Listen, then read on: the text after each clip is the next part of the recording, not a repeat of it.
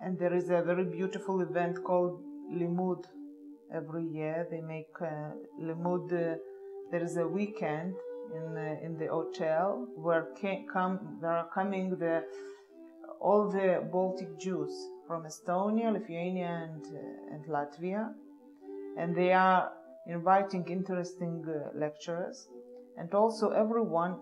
For example, if you uh, know how your uh, grandmother was making uh, krepalach, so you come and you can teach another another people, another women who is interested to make krepalach or gefilte fish or, or for example, someone knows how to dance dances, so he's everyone can be a teacher there if you if if you like. Not so you can only learn. And there are also interesting lect- lectures there about uh, Jewish culture and history and also religion, everything, traditions.